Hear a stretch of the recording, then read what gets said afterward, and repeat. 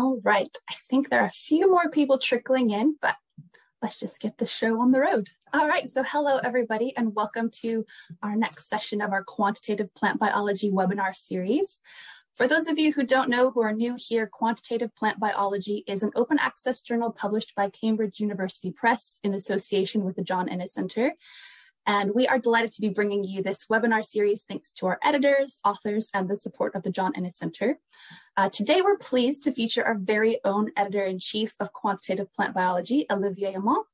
Uh, in a moment, I'll be handing over to Dale Sanders here, who will introduce today's session. Uh, before we get started, I'd like to go over just a few housekeeping items so you know how to participate in today's event. Uh, you have all joined in a listen only mode, which means you'll be able to hear us, but not able to speak to us. Uh, however, you do have the opportunity to submit chat questions. Uh, so you can type those chat questions into the Q&A of the control panel there, the, usually at the bottom of the screen there. Uh, you may send in your questions at any time during the webinar today. We will collect these and address them during the Q&A session towards the end of the webinar today. Uh, if we are unable to get through all of the questions, there will be a follow-up email after today's webinar where you can send those questions and we'll try to get those answered for you as well. Uh, should you experience any technical difficulties, please add this to the questions box and a member of our team will endeavor to help you. Uh, and in the unlikely event we are uh, experiencing any issues, we will message the audience and try to restart the webinar, but that shouldn't happen, knock on wood. Um, so to summarize, you can submit those questions at any time today, and you'll also receive a follow-up email at the end to ask any other follow-up questions you may have. Um, just another quick thing, I would like to encourage any of you who are on Twitter to give us a follow. I can pop that uh, Twitter handle in our chat box as well here. And if you have any comments or questions about the webinar today, you can use the Twitter hashtag uh, QPB webinars to share those thoughts. And with that, to kick things off, I will hand things over to Dale Sanders. Many thanks, Casey, for the mm-hmm. introduction. Um, good morning, everyone, and welcome to this QPB set webinar. I'm Dale Sanders, and I'm an advisor to the editorial board of the journal. I'm delighted today to introduce Pro Professor Olivier Hamant to deliver his presentation on the 1972 Meadows Report, a wake-up call for plant science. Olivier is a research director in the Plant Reproduction and Development Lab at the University of Lyon and holds an adjunct position at the Sainsbury Lab in the University of Cambridge.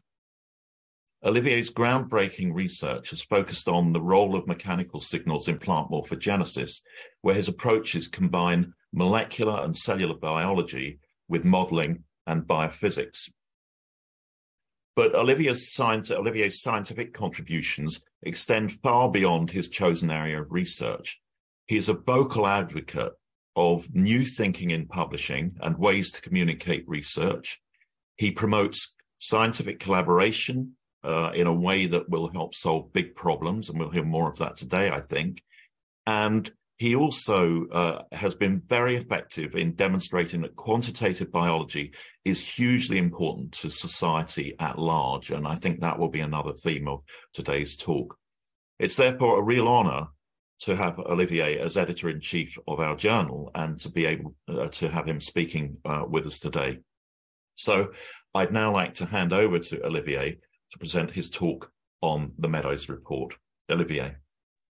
Thank you, Dave. Thank you for the kind introduction. So I'm very happy to to present this uh, this work. So let me share my screen. So you should be able to see the slides. Yes. Okay. All right. so yeah, the Meadows report. So let's uh, let's get started. So uh, there is this uh, nice quote from uh, Karl Niklas actually that I, I, use all the time. So the Earth is a blue planet but it's a green world. And this is sort of a tribute to plant science in some ways, because we are actually relying a lot on plants. Civilization depends on plants. And so here is uh, just um, a, a, few uh, items. Uh, of course, there's uh, the water that you can see here. I mean, the cycle of water that depends on plants. Uh, the soil. So here you see uh, lichens that are um, of course, the, the, one of the first pioneering plants that can generate soil from mineral material. And of course, biomass, plant biomass, that's the source of uh, the, the, most abundant resource for uh, ecosystems. And we all depend uh, on this. So that's the status, let's say, of our key resource for the planet. But of course, as humans, we've uh, colonized the planet and we've generated a number of problems. I'm, I'm, fast tracking. I, am sure you, you know very well this kind of problem. So resource uh, scarcity, shortage of resources, climate crisis, biodiversity collapse, and global pollution. So these are the four main uh, items we have to deal with. And these are no new questions, and this, uh, this is something that we've been um, questioning for a number of uh, uh, decades, actually, or even centuries, I would say. But there is this report that I want to insist on today with um, this article and this, uh, this webinar. It's the, the Meadows report, so the Club of Rome report. So here you can see the, the authors. And uh, in the middle, so the, the two lead authors that are Donella and Dennis Meadows, who were really like uh, behind the report. And all this was, was triggered by uh, Jay Forrester, which was one of the, the, the, the, leader in systems thinking, was the one who, who made some of the very first uh, computational model um, in, in the field. So what is this uh, model about? So this was actually in the in the 60s. It started in, in the 60s, and the idea was to uh, do the first computational model of the world. So nothing less than this. So it's a pretty uh, massive uh, massive work. So the, model is called World 3 and it integrates uh, everything pretty much we know on the planet with, of course, very uh, discrete uh, parameters. Uh, here you just have a, a, map where you see a little bit like what are the interactions, but just to get give you an idea, uh, for instance, uh, there's one rule that says if you have more food, you will have more population. So you see, it's very, very simple rules, and there's an arrow uh, between these two parameters. So you see, it's very simple. There's only 180 parameters in this uh, model, so it's it's a pretty simple model compared to uh, the IPCC uh, model that we do uh, nowadays. Huh? The IPCC um, model today they have like 10 million parameters. So this one is much much simpler, but it's the first one. And so what does this uh, model produce? it produces this. And so here you see actually uh, Dennis Meadows at the Smithsonian uh, giving the speech in 1972. So this was when the, the report was uh, released. And so the, the model says that. So here you see on this graph, so this is actually from the, the report in 1972. Uh, you see that this is 1900 and this is 2100. So it's over two centuries. And you have different parameters. Uh, and actually, these are in French on this one, so I should have translated it in English. Uh, this is population, this is pollution, this is uh, food, this is uh, industry. So you see all these different parameters are evolving uh, over time. And this is the standard run. So this is just if we, it's business as usual if you want. So if we follow business as usual, the prediction from the Meadows report is that of a tipping point. A tipping point that would happen in the first half of the 21st century. And so this was a, a big shock to, to the community I mean, I, I guess, well, it, it is one part that is very trivial. So we knew that uh, infinite growth on a finite planet can't go on forever. So we knew there would be a tipping point at some point. But the surprise is that it's much more short term than expected. So the prediction is that it would be in the first half of the 21st century. So of course, there's a lot of uh, buzz in the in the 70s. Uh, the, the book is sold millions. It's translated in 35 languages. So it's, it's pretty uh, massive. Um, it, it, has a massive impact in, uh, in society. But there are other things in that report. And for instance, uh, they also explored other scenarios than the business as usual one. For instance, they explored the scenario where you have access to more resources. So you could you could think of uh, the equivalent today would be uh, deep sea mining, for instance. So if you if you go uh, extract resources that are not really accessible today, but if you can have access to them, what happens?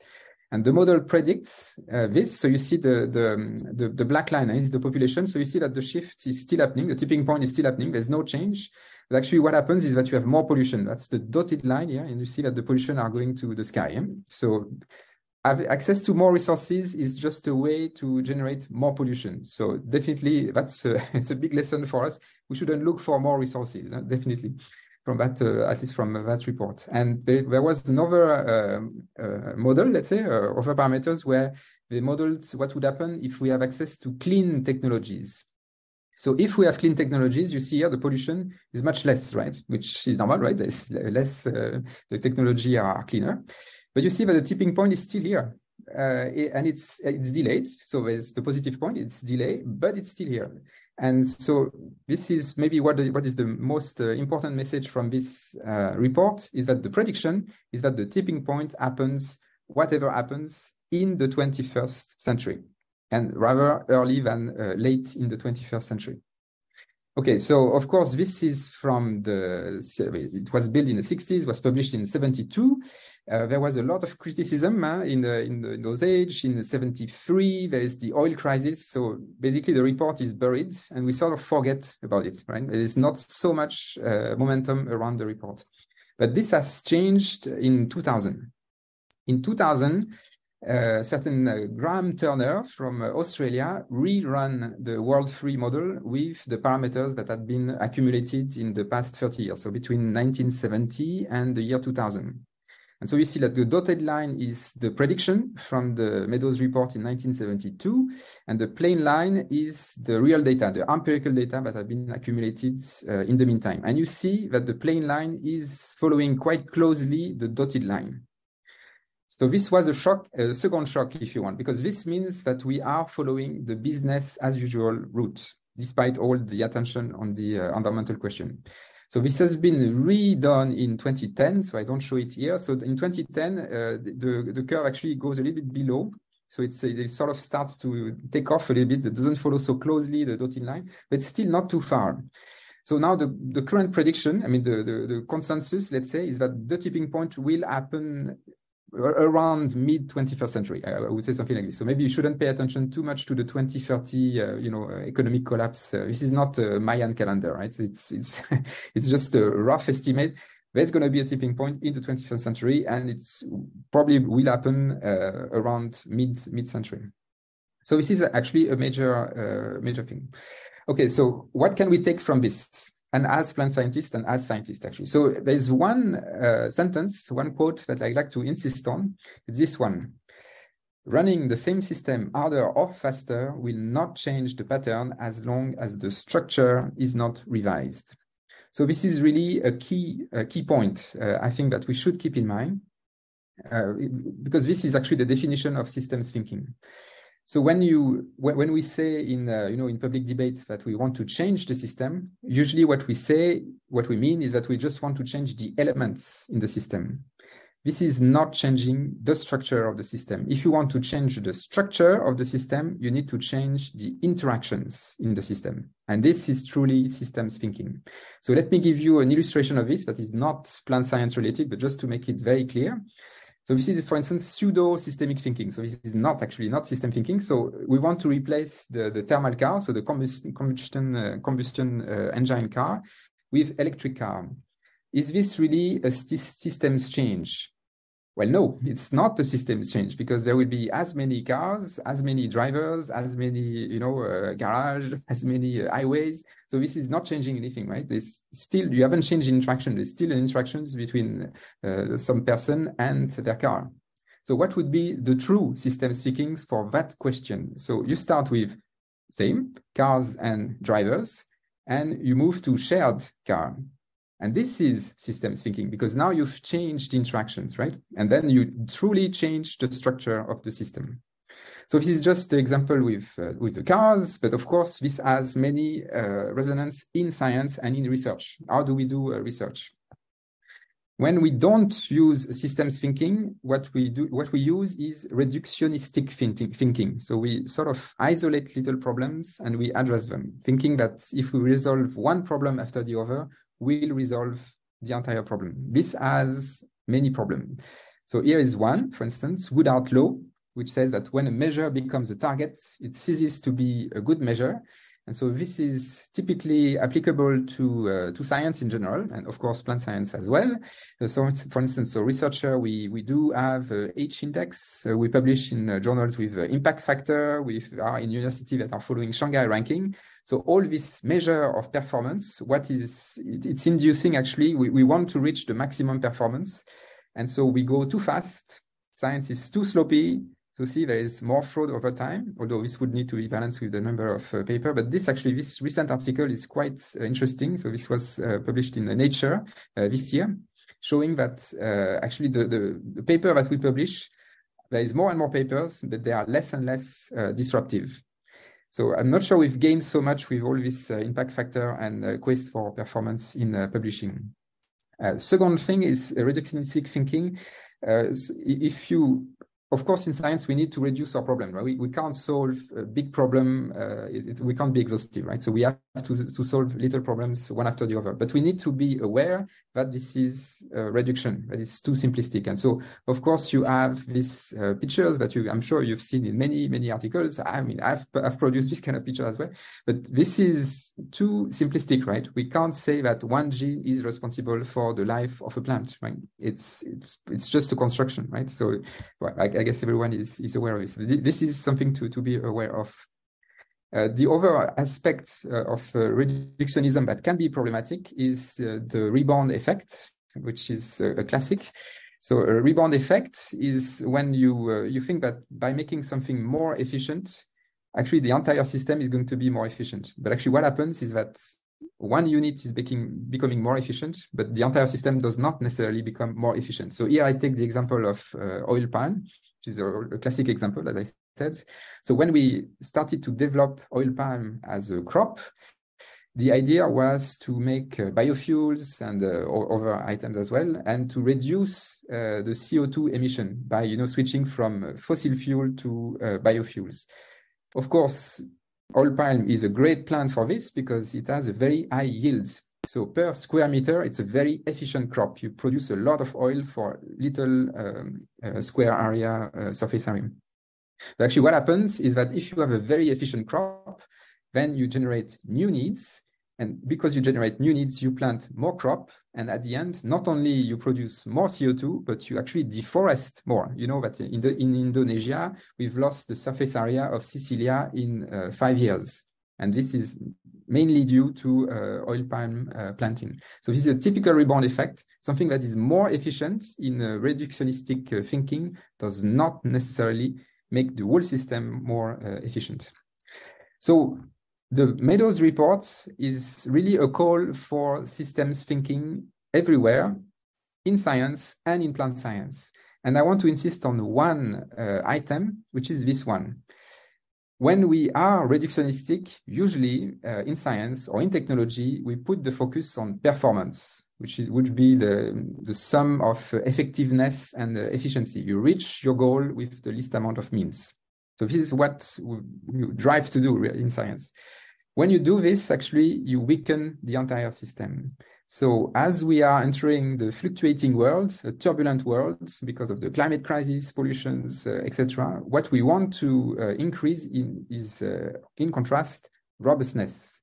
And robustness is a systemic uh, feature. And more robustness is, they're both mutually exclusive. You can't be very robust and very efficient. It's physically impossible. So of course, how does this relate to, uh, to biology? And actually it relates a lot to biology because biological systems are robust and they are robust against performance. And this is really what systems thinking has told us in the in the past 20 years, I would say, at least at the molecular level, but for a longer time at the ecosystem level.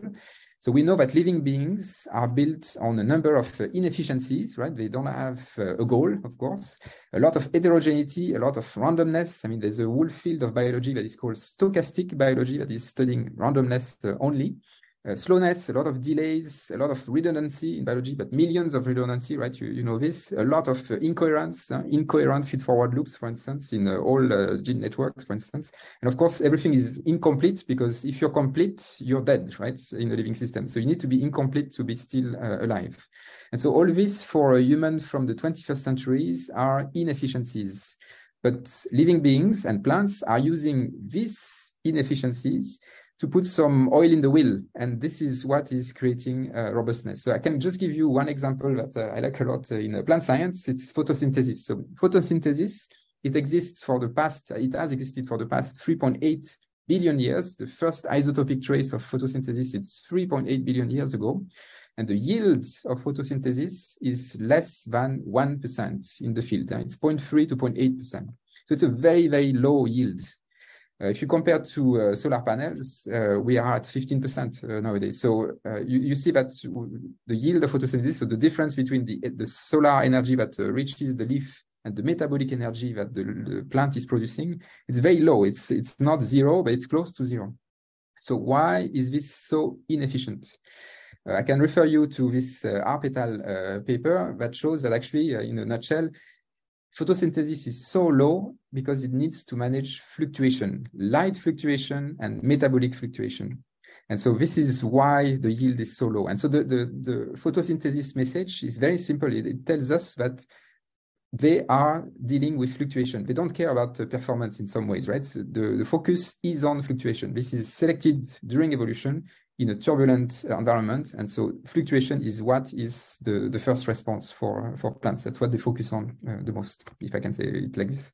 So if you look at uh, plants or any living beings, actually, what they are built on is all this randomness, redundancy, fluctuations, all these, right, inconsistencies. And all this is fueling adaptability not adaptation, adaptability, right? So it's always you want to do things that can be a bit useless if you want at, at some point, but are, that can be useful if the world is changing. And during evolution, this is adaptability that has been uh, selected. So this, and to finish, this should uh, enlighten us for plant science. And this is really what the Meadows report is telling us. The Meadows report is telling us that the world is going to change. It's going to change completely. It's an inversion. It's really an inversion, complete inversion from you know before uh, the, the, 20th century to the coming 21st century. We are going to be on a different route a different trajectory. And so this means that in plant science we will also need to accompany this inversion. And so for instance i'm going to start with i'm going to give you uh, six examples of this uh, inversion. So the first one is that a lot of the projects we do as plant biologists are still in the framework of monoculture uh, just by default, right? Because in the lab, we often use only one species. But actually, we know that monoculture is not the way forward, right? Uh, monoculture is uh, the drive for desertification, for a lot of pesticides, for fertilizer. I mean, you need to compensate a very poor uh, ecosystem with a lot of external uh, entrants. So what would be the inversion for this? Of course, it's mixed varieties. So it doesn't have to be super uh, uh, varied. Eh? It can, can, be just three varieties of wheat in the same field, but this is already increasing the resistance of the field to drought and to pathogens.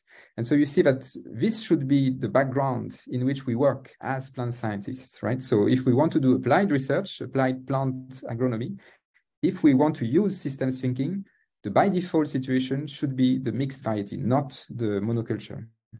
Second one is to, if we want to, uh, in the past, we wanted to do a new resistant species. But if we do this, if we want to make species that are super efficient, super resistant, this going to this is going to fuel monoculture again, right? And uh, rebound effects, uh, Goodhart law. I mean, everything I've been telling you uh, before. So if we want to uh, to fight this, and if we want to have a more systemic view on this, for instance, we could understand hardiness. So how come some plants are more robust than others? And so here, for instance, I, I take the, the, example of uh, pollard trees. So these are trees that you cut a lot, and so they developed uh, they develop uh, extra proliferation of their cells or their tissues. And so there is some reports, but this needs to be studied because this is an open question. But these plants, these pollard trees, are more resistant to fluctuation, to environmental fluctuations. So again, it's a it's a question mark, but this is the type of question we should uh, address as uh, plant scientists instead of trying to make the, the best possible plant. Another one is biofuel. So if we want to make biofuels instead of oil fuel, uh, we this is again redu reductionistic in thinking, right? Because if we do biofuel, we still burn carbon, right? We are still going to emit CO2, and to grow the plant, we're going to use fertilizer, and fertilizer they need fossil fuel. So you see, the, the whole point is it's it's a loop, right? So this is ill thought. At least the biofuel, the first or second generation, they're still quite uh, ill thought. So what would be a much better uh, option, a much more systemic view on this? It's to invest in true bioeconomy. So instead of using plants, plant material to make biofuel, we should instead use plant to replace the minerals and the metals that we use in renewable energy. And so here I take the example of a recent paper from the, the team of uh, Thomas Dehoux, who uh, found actually that in uh, onion, uh, the epidermis of onion, the one that you can find in the supermarkets, they have phononic properties, so they can absorb certain acoustic waves. And it turns out that this is some of the properties of the minerals we use in smartphones, for instance. So the, the overall idea is to replace all our goods that are made of metals, of fossil fuel, with green carbon and to have the same properties through uh, this carbon. So that way you store CO2 in the material and uh, and, and then you, you don't extract all these minerals or this uh, fossil fuel. So this would be much more systemic. Another one uh, from the past is uh, precision agriculture. So this is uh, there's a lot of buzz around this with drones, you know, like and the idea is to have a more efficient agriculture because you would use less pesticides, less fertilizer, less water because it's very precise. Of course, this will generate rebound effect, a lot of Goodhart law. This is promoting uh, monoculture. So again, this is an ill-thought uh, um, thing. So what would be the, the inverse of this? Of course, it's imprecision agriculture and imprecision agriculture is based on the density of interactions in the field. So that means that you need to include the microbiome, for instance. And there's a lot of studies on this. So this, the example I take here is actually an, an analysis of the microbiome in uh, Japanese uh, forest soils. And you can, if you identify the number of interactions, then you can have something a bit more imprecise, but then you let the field be more autonomous. And this is true uh, robustness. Another example of the past, the seed company monopoly. So you know that there are five main seed company in the world, uh, and so this is a major uh, point of weakness. Uh, that to, to I mean to have the food dependent on just such a few uh, companies, this is definitely not robust at the world level. I mean, uh, you, you saw what happened as as as soon as there's a war somewhere. It's, it's a very fragile system. So what would be the, the robust uh, system with systems thinking? Uh, of course, it's to actually have particip participatory uh, research with situated knowledges. So this can be participatory breeding uh, strategies. So that means that scientists, as scientists, we will have to uh, connect with citizens who are actually growing the crops themselves. And uh, this is actually very interesting. I really invite everyone listening to, to this webinar to actually do this uh, talk to the farmers. I mean, as a scientist, talk to the farmers, go to this participatory breeding, and then you learn a lot about what are the expectations, what are the problems of the farmers. And uh, and soon actually you'll find that you have some preconceived ideas. Huh? For instance, I can give the example uh, in the Lyon region. Uh, I thought that the local farmers had uh, issues with um, uh, you know, uh, some sickness or some pathogens that they had in the field. Actually, this was not the main problem. Uh, rain was the main problem, like the, the fact that the, the, the wheat was falling down. So it's just um, yeah, it's, it's always uh, well enlightening, I guess, to to connect to the citizen. And this is the last last point. Uh, in the past, uh, if we do top-down research, so that means that we create new species in labs and then we just give it to farmers, and the farmers are not autonomous; they are dependent on a distant technocracy, and this is not robust in a fluctuating world where you, I mean, you saw with the COVID crisis that we don't always have access to the resources, to the energy, to the, I mean, to the, the Canal can be blocked. I mean, all these kind of things. So if we are too dependent on a too distant technocracy, then food is not going to be robust. So what would be the, the inverse, of course, is to promote transdisciplinary research. And so it's a little bit the same, it's to promote citizen science. And of course, this is something uh, that uh, quantitative plant biology is doing a lot. Actually, that's really something that we believe in, both systems thinking and citizen science. And this is what the, the journal is about. So we're trying to promote quantitative thinking. So quantitative, quantitative thinking means that we want to address systemic question. So we can use reductionistic tools, but the question has to be systemic, right? That's that's the difference. And so we have a number of new formats that are trying to to address this. So there's uh, the citizen science format. We are the first plants journal to have a dedicated citizen science format. We have the classics format, which is this is one example. So where we try to revive the old literature and to actually, know, this seminal work that uh, that can be inspiring. We want to put them back uh, on, on, the table. Insights for postdocs or uh, PhD students who want to talk about uh, inspiring uh, recent literature. And we also want to promote creative research. So there's uh, art and science collection, for instance, and this is something that is really important if we want to address the right question. All right, so I think I'll stop here with just, uh, so this is the article. So if you want to dig a bit deeper, so the, the, the classics I, I, wrote for quantitative plant biology on this 1972 uh, Meadows report. And I also wrote a book, so it's in French now, but there's going to be an English translation. It's called Suboptimality. And actually, uh, uh, Britt Koskella suggested uh, another uh, title which I like a lot. It's called The Inefficient Truth. So it might might be that it might, might be that uh, in the end. All right, so I'll take uh, any question uh, if you have some.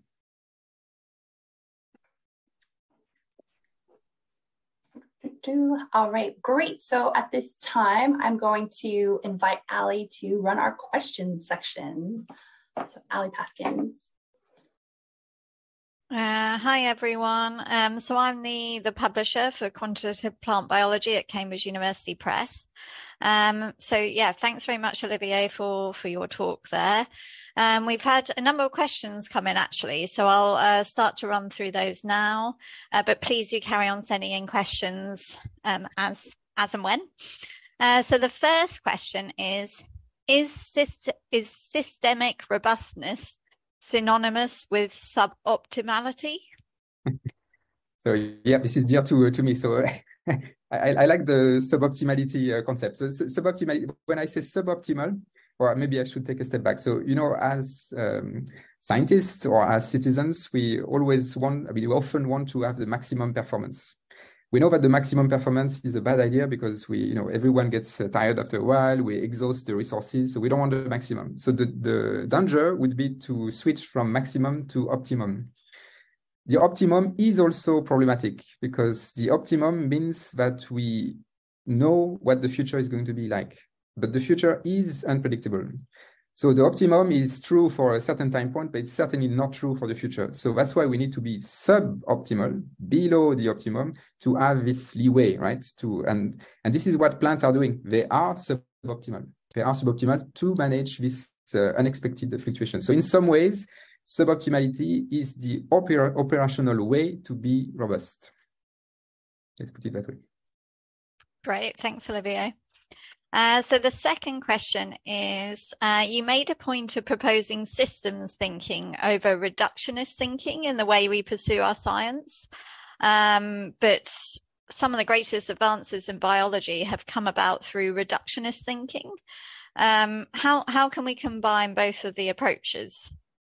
So, so this is a good question. I, I, uh, I'm, I'm, not saying that we should stop doing reductionistic uh, science. Huh? We, we are reductionistic in a way. We, I mean, when we talk to people, we talk to only one person, right? We don't talk to the entire world. So we are reductionistic in the way we interact with people. It's more the question. So, for instance, if you write an article, you, you do some research, it's going to be necessarily reductionistic because you're going to address a small problem. Maybe it's more a discussion point in some ways on the introduction point you can't say that you've solved the world by solving the I don't know the auxin transduction pathway, for instance. No, that's not true, right? and in some ways, uh, we this is the temptation that we have as plant scientists is because we we are so enthusiastic about our discovery is that we sort of make it like a bigger thing than what it is. And systems thinking is um, well really important for that. Is to make sure that actually we are really addressing the right question. The the worst part would be to bring the best answer to the wrong question. And this is something that we do too often. I mean, I was taking and talking about the electric car. So the electric car is just a mind. I mean, it's, a, it's an interesting uh, project, but it's not the answer to everything, right? Uh, so this is type, this type of uh, thinking. So I'm, I'm, not opposing both, but we, we need to have more systems thinking. Right? Brilliant. Thanks, Olivier. So the next question is, uh, competition is deeply embedded in the mindset of many researchers. Um, do you have any mechanisms in mind that would help us move to a more collaborative framework for our research? Hmm. So actually, that's uh, something that I think uh, quantitative plant biology is doing uh, in uh, in essence. The, the the first step to move to cooperation over competition is interdisciplinary research.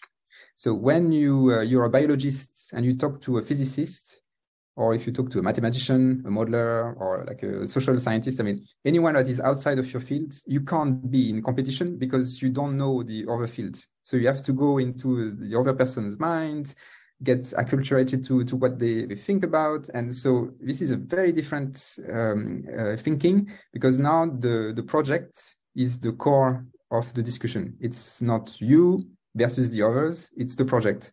And that's the difference between uh, cooperation, cooperation and collaboration, actually, even. Uh, cooperation is when you together, you work towards the same goal. And interdisciplinary research can only be co cooperative. When you do collaboration, actually, you everyone independently move on their subject, hoping that the addition of the positive uh, project will be a positive global positive. But this is it's a win-win, right? But there's always someone that loses in the win-win scenario.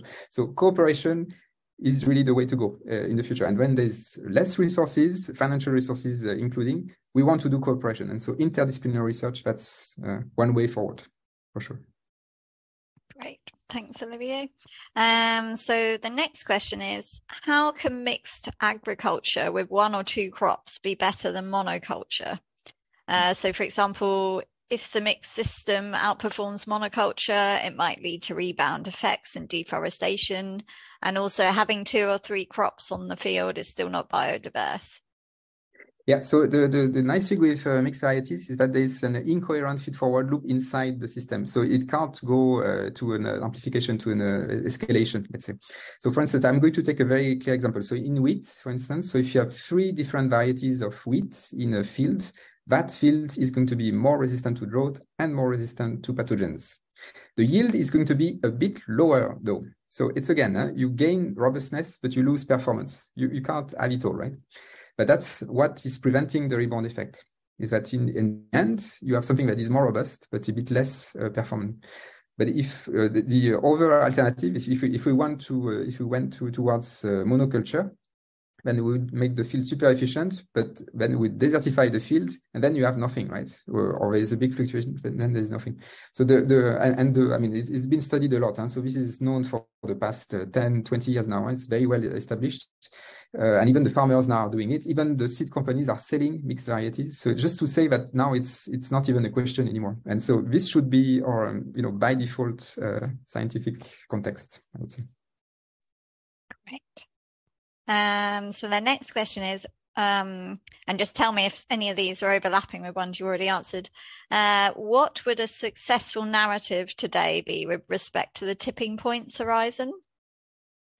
Oh, the narrative. So, uh, well, so I like the idea of inversion, right? Because we, uh, if you if you look at the curve of the Meadows report, it's really an inversion, right? We are changing, uh, we are changing the civilization. The civilization is going to change. Huh? It's it's really a tipping point for the past uh, ten thousand years huh? since the Neolithic age. Huh? So this is it was really flat. There was the great acceleration, and now we're going down. But the the for me the narrative shouldn't be the narrative of the collapse you know, there's a lot of uh, text and uh, in the media we talk about the, the it's not a collapse; it's a tipping point. It means that we are going to change the way we do uh, science. The, the economy is going to change. Everything is going to change. So it's not a transition. It's not a bifurcation. It's an inversion. We basically do the, a little bit the opposite of what we did before. And uh, to me, uh, we are not going to regret the the past time, right? So if we move from performance to robustness, actually, this is really an engaging uh, future, right? It's it's uh, to me, it's an answer to eco anxiety. Actually, if we develop robust strategies in science and in society, now we can really be uh, we can see the future, right? It's um, so, I, I, but the narrative actually that's why I think biologists have a lot to do on this, and cell and developmental biologists in particular uh, or systems biologists because we can explain that robustness goes against efficiency. And so this is really the, the point that can be a good narrative. And it's actually, it's also a way to reconnect to the living beings, right? So that can be the narrative biology. Great. Okay, so the next one is uh, with the climate crisis getting worse, do you think that people have a limited amount of time to change their agricultural ways to help turn around CO2 emissions? And if so, how long do you think people have? So uh, I can, uh, so I don't know for the entire world, of course, but I can give you an example for, for France that I know a bit better. Uh, in 2010, there was only 5% of the surface area that was cultivated in a mixed variety for wheat. In 2020, in certain uh, regions, it was up to 40%, 40. So this means that in 10 years, uh, the agriculture in France has already shifted towards from monoculture to mixed varieties. In, uh, I'm sure in 10 years it's going to be mixed varieties everywhere, agroforestry, permaculture. I mean, this is a movement that is going very, very fast. So I would say I'm, I'm quite optimistic uh, in the sense that the farmers they're the first one to experience the climate crisis, and they're the first, they're not stupid. And they see that it's actually working much better, that it's more robust, and that they're more autonomous. So this is going, I think, I suspect this is going to go uh, relatively fast in agriculture. I think the, the main problem is uh, some brakes, uh, some lobbies, of course, that are going to to to slow this down. Uh, but the, the farmers, they are ready actually. When you when you talk to them, they are ready uh, for for the turn. So I, I would be relatively optimistic, let's say. I don't, I can't give a date though, and I don't want to give a date. Great, thank you. Um, so the next one is GMO, including editing, uh, is seen as a typical top-down approach. However, however, they are simply another way to get new varieties, which is something that's needed. How could one use this approach for a more integrated agricultural practice? Yeah, so it's um, definitely GMO are part of the solution. It, the the danger would be to say GMO are the solution, right? That's reductionist thinking. If you say GMO is part of the solution, then you're more, you know, systems thinking. It's GMOs, but there's also other things. And one uh, idea would be to, uh, of course, go towards open science. So if you if you do a GMO, you don't want to make GMOs that are, you know, uh, secluded to one specific company and that the farmers have to order every year. So this is the past, right? If you want to have robust agriculture, uh, the farmers have to be autonomous and they have to be able to grow their own seeds and to share their own seeds. That that would be the and then GMO. Everyone will be happy to have a GMO. I think. Great, thanks, Olivier. And the next question is. In crop research, one major goal is to breed plants with both high yield or quality and resilience to stresses, biotic or abiotic. Abiotic. Would that be consistent with the suboptimal scenario? Well, partly I would say. So the the it's just that the some of the crops we grow, uh, we grow them with the mind that the, these plants will be grown in a greenhouse or in a very controlled environment. And so is, if this is the case, then it's true you can go for maximal yield because you have a stable environment. If you grow the same plants outside, in a fluctuating environment, and as we know, the environment is going to be more and more turbulent. This is, you don't want maximal yield, you want to have maximal robustness. So it all depends on what you grow. So if you want to grow, uh, you know, like, uh, I don't cash crops in a very small amount, in a very controlled environment, you can go for maximal yield. If you want to grow wheat or if you want to grow rice, you certainly don't want maximal yields. You want robust yield. And this can't be, we can't have both, right? You can't have high performance and high robustness. Great. Uh, so for now, I think we've got one more question, but do keep sending them in if, if you have any. So uh, your appeal to systems thinking will involve collaboration with individuals whose expertise lies uh, well outside of the academic range that we encounter as plant biologists, uh, such as economists or social scientists do you have any thoughts on how we can go about breaking down interdisciplinary barriers? So this is, of course, the, the, the hardest, huh? the, the, transdisciplinary uh, research, because now you, you talk to people who are who don't some don't have an academic background or are very specialized in one field, and so it's sometimes it's hard, you know, to find a common ground. But you can turn this around, because if you talk to someone who is very far from your field, that person is going to reformulate your questions. And then suddenly you will see whether your questions are actually the right ones or not. So this is actually the first thing that is really nice with uh, transdisciplinary research is that your questions are evolving even before the, the answers, right? So you you have actually better questions. The, your questions are more pertinent. It's, it's almost like a stress test on your question. Are you sure you're asking the right question? So if you're not sure, ask someone who is really far away from you, a citizen, someone who is not a scientist, and then you'll see if it's you know a, a pertinent question. After that, uh, on the uh, how to, to do this, uh, time is the key. So if you want to do trans transdisciplinary research, you want to make sure that you have enough time, a lot of you know back and forth uh, over the long time, so that people can integrate uh, on both sides, huh? uh, both the scientists and the non-scientists. It also means but you want to let go a little bit of the dogma of performance in uh, in science. Let's say that if you do trans, trans, transdisciplinary research, you're likely you're not going to publish in Nature or Science, right? It's going to be uh, situated knowledge, so very uh, less universal in some ways, but more robust in the sense that you reconnect science and society.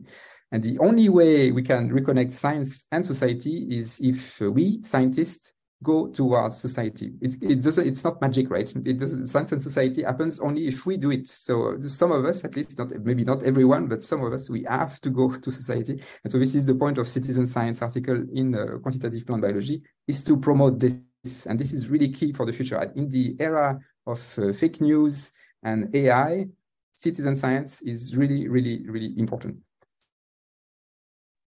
Brilliant. Thanks, Olivier. Um, so I think that's it for questions. Um, so I'm going to pass over to Casey now, who will close the webinar. Thanks, Allison. Thanks, Olivier. Thanks, Dale. Uh, great. Let me just share a couple more slides with you all. Um, doo, doo, doo. There we are. Um, Great. So I just want to say a quick thank you so much for everybody for attending today. Uh, if there are no other questions, we will have an email going out after this webinar, so feel free to be submitting uh, more questions and we can try to get those answered for you as well. I really hope you enjoyed today's webinar and found it useful to hear from Olivier and Dale and learn more about quantitative plant biology. Uh, we do have a few ongoing collections, calls for papers, so feel free to go to our website and consider submitting to the journal as well. Uh, thank you again, everybody, for taking part. Uh, there are more webinars coming up in this series, so please uh, keep posted on our webpage and uh, look out for those upcoming ones. And if that's all, thanks so much for attending. Thanks all. Thank you, everyone. Right.